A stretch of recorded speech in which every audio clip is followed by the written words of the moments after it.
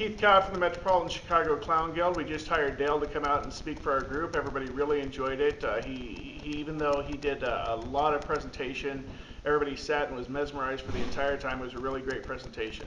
Thanks again, Dale. My name's Patty, and I enjoyed Dale's lecture a lot. We were at the um, Clown Guild meeting, talked all about marketing and balloons, and it was fabulous. Thanks again.